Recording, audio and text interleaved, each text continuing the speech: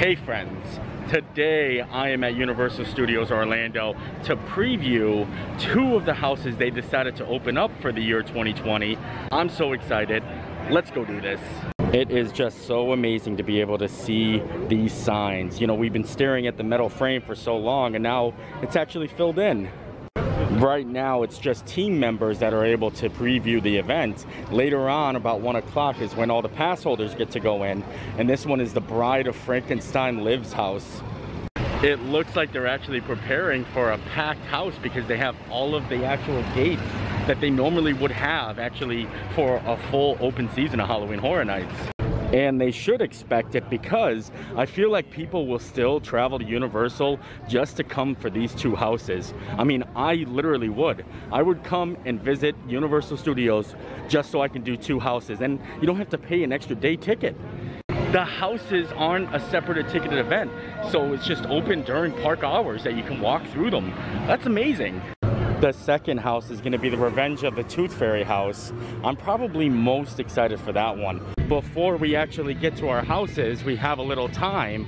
Let's celebrate with some festive Halloween drinks here at Cafe La Bamba.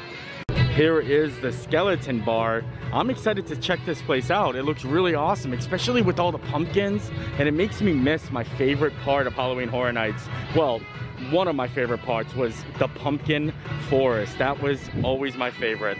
Another new thing they added this year is the Scarecrow Stalk. You can actually stalk around Universal Studios and try to find 13 scarecrows and skeletons and they're all separately themed and when you find them you have to get them stamped on the map just like this. Very fancy, what do you say? And we're about to go inside and I'm with Jackie. Super enthused. Yes. I got a drinking buddy, you know, gonna miss Halloween Horror Nights drinking. For some reason, it just was different. Like having a beer, walking around with your blinky cup, with like the lights and the scare zone. Different. Something Yep. mm, about it. Look at the inside here. I love it already. this is some good stuff. How you doing? Great. Are you looking for food and beverage? Yes. Come here, here. We'll take of you. Oh yes, food and beverage, please. Oh wow, guys, I'm excited. Thank you. Too. This is what we're looking at. And we've got bloody charred tandoori skewers. And then of course the screaming for s'more fries. I'm excited. I'm gonna get the chicken skewers and then also a fancy drink. Here's a look at almost all the food they have. Oh, those skewers look so good. And then down here we can see the little shrimps. The shrimps. Oh yeah, look at those bad boys right there. Yes, ma'am. I like it. Very fancy. These look so delicious. Now that we have our food, we're actually waiting to walk through. This is a walk-through experience. We're gonna be able to go to the bar, the skeleton bar, and then to the left is the actual walk-through experience. I'm so excited. Look how cool it looks in there. I'm excited. This is great. This is incredible. It's like tribute store part two.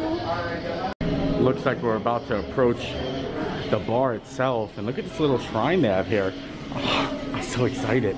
This is really cool. It's really put together, well themed. Over here will help you. All right, now it's time for some drinks. The Circus Peanut, the Mango Inferno, the Loup Garou. The Loup Garou, I think, is the one where it's like you're turning into a werewolf. I definitely decided to go with the Circus Peanut. That just sounds so unique and cool. The Circus Peanut is Skrewball peanut butter whiskey with banana and orange juice. And take a look at this guy right here. This is awesome. It would be really cool if you can actually just hang out in here, but it's just a walk-through attraction, so we're gonna have to keep moving. But wow, this would be an amazing bar. I would love it, kind of like Cocktails and Screams. Cheers to you, my good friend.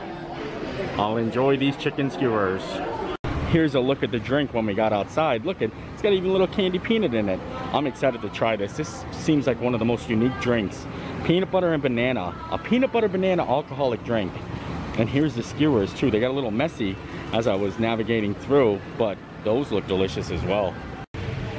I'm so excited to try these. Oh my gosh, me too. I really couldn't take my time with those chicken skewers because I was so delicious. But now I'm gonna try the peanut butter banana Halloween Horror Night special drink. Oh, it's okay. Oh yeah, the banana you can taste really strong and the peanut butter is kind of like a kind of like a kick kind of. I don't know, it's a hard drink. You wouldn't be able to drink a lot of those, but it's definitely worth a try. You know who would love this drink? Elvis. Elvis loved pin, uh, peanut butter and banana. Did you know that? Yeah, I did. Yeah. He's famous for that. So this is like the Elvis horror night drink. Elvis may have liked the drink, but you know who doesn't like it? Jackie! I don't like it. I'm gonna drink the rest of this and then we're going to get another drink. Brave man finishing that. Ah, are you gonna eat the peanut? I ate the peanut. The peanut I like. I'm gonna get the peanut. So the line to get back in right now is only a couple people, but earlier when we were here, it was lined up pretty far back. So uh, know that when you come here, it's a very rushed thing Yeah. because you don't want to hold people up, and uh, it's like they only let a certain amount of people in, so you might have to wait. Round two, here we go. While we wait, I decided to just set the camera up so you can hear the creepiness in here. Oh, baby, baby. Not that creepiness. Hopefully this drink's gonna go down a little bit easier. This one is uh, the one uh, where you turn into a werewolf, supposedly. This is the werewolf drink. The werewolf. That's my speech impediment shining through right there for you. Much better. Yeah, much better than the circus peanut. The circus peanut's more of a novelty drink, like I said. You get it just to try it. We're gonna take our drinks on the road because it's almost our window time. One o'clock, here we come.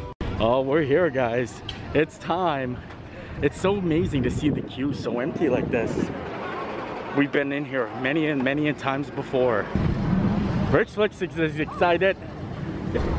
Looks like we're officially moving a little bit. There's only about 25 people in front of us and nobody is lined up so far. And it's one o'clock on the dot. We were in here a little bit early, lucky us. Yeah. We're not sure when we're not going to be able to film anymore, but we're going to keep going until it's apparent that we have to stop filming. I know they will not let us film in the house, but we'll see how far we get. Once we get out of the house, I'll let you know everything that I think of the house and ev- like just give you the whole scoop. I'm very excited. No spoilers though. Two. Alright, whoever's gonna be the bravest of the group will be standing in front holding that in front of you, alright? So these little glow sticks they give you, uh, they're given out to the bravest of the party.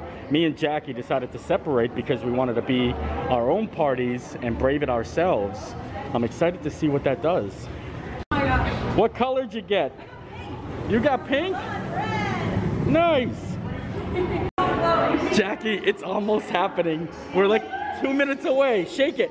Shake it like a salt shaker. so amazing because like I said, we split up. We're gonna be actually going through this quite by ourselves. Because of the social distancing, um, it's gonna be even scarier when you're doing it by yourself. Wow. Attention, please. There's the door. As a reminder, oh, all Oh, boy. are required to wear a I am so excited. all Times, unless actively It's happening. eating or drinking. It also looks like they have TMs out there sanitizing your hands. I'm sure as soon as we hit that doorway, camera's off, but I'm gonna get up to that point and let you see like the sanitizing process. Good?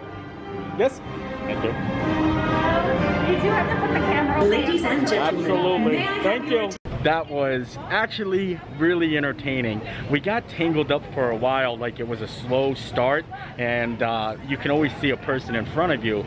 But then at the last like couple of like scenes, there was nobody. And then I realized I was walking real fast and the jump scares were actually happening with the plexiglass in place. Like they were jumping out and like pressing up against the plexiglass and it was catching you off guard. I really, really liked it. I'm excited to see what Tooth Fairy's like. I'm gonna sit down and we're gonna talk all about it once we get both houses done. Now it's time we're gonna get in line for Revenge of the Tooth Fairy.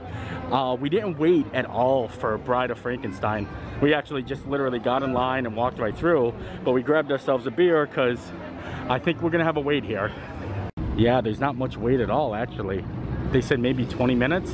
So uh, I guess we're gonna have to finish this drink pretty quick. Looks like we're going into stage 24. Or maybe not. Not sure which one. I can't see where it's going. For some reason, this big gigantic sense of joy just came over me because I realized Oh I went through my first haunted house of the year just now. Oh my god. Uh, and to think that I wasn't gonna be able to do that. Oh my god. That's crazy, right? I don't know, it just hit me. Maybe it's You know standing in line. Chatting with other people in line. Yeah. That is like so horror nights. crazy. Yeah, for some reason, like I said, this is really feeling like we're at Halloween Horror Nights. Yeah. I'm really liking it. We should have gotten more beer before we did the Yeah, we Frankenstein.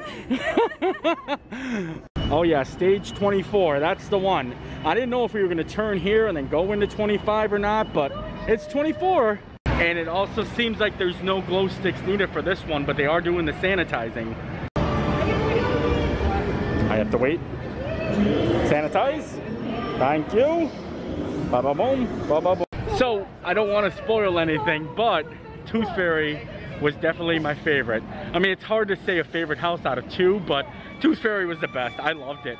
I mean, nothing to knock Frankenstein's wife, but I loved that house. I loved Tooth Fairy. It was amazing. Looks like we got in line at the right time because now the line's all the way back out to here. Actually, it's going back to Jimmy Fallon. Holy moly. I think we might as well head into Finnegan's and give you our thoughts of the houses so far. What a better place though, huh? Oh yes! We got such a good spot! Oh, and this is where we're staying right here. Hello, hello, hello. I like it. I like it. It's very cool and relaxed. While we're sitting here, and since the live music should have cut off for a second, might as well tell you some of the best things about the houses. Obviously, I've already said it. The Tooth Fairy house was my favorite. Yeah. Hands down favorite. Jackie, what do you think? So Tooth Fairy was great, but I still think Bride of Frankenstein was great. It's probably because watched Bride of Frankenstein last night. I have an affinity for classic Universal monsters. I love the films. I love those like old 1930s black and white films. Um, I think that it depends on your walkthrough because we talk to other people. Yeah.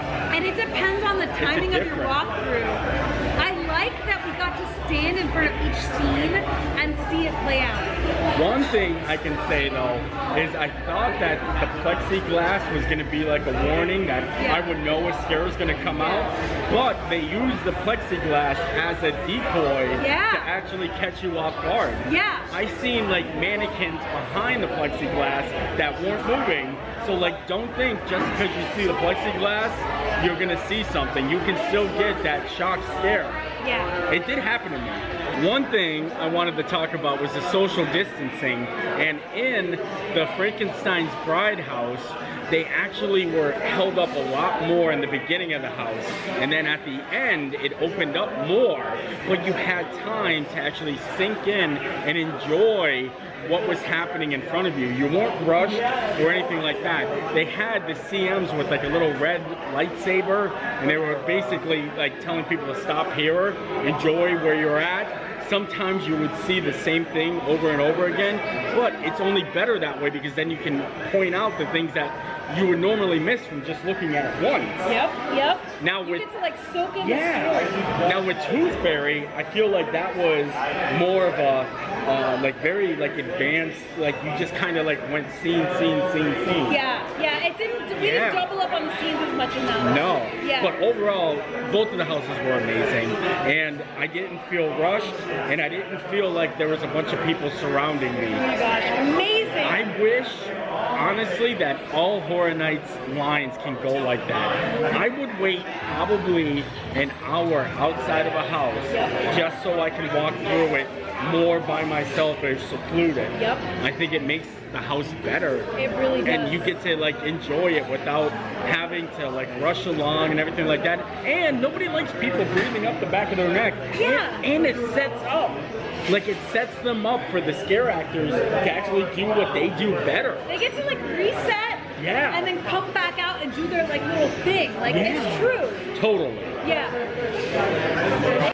All that Halloween Horror Night talk, now I'm hungry. I decided to get the bangers and mash. Look at that. That looks amazing, doesn't Wow, it? yeah, Nate got the bangers and mash. It looks really good, actually. Ooh, and then you have a pot I pie. pot pie because I love pot pie, and look at the presentation. Like, what is this even? Wow, fancy Finnegan's. Okay, we get it. You guys are fancy. And Finnegan's was a great place to just chill out and relax after enjoying the houses, have a little food, have a little drink. I loved my bangers and mash, but now I think we're gonna head out. We're gonna come back tomorrow because I'm so excited to just keep doing this again and again and again. But wow, look at how this changed. Remember I said earlier, they better be prepared? This is just for the premier pass holders. This is insane. Easily two hour waits to get into the Bride of Frankenstein. Anywho's, that's gonna do it for me today. I had to swap out my mask. The other one just got too wet.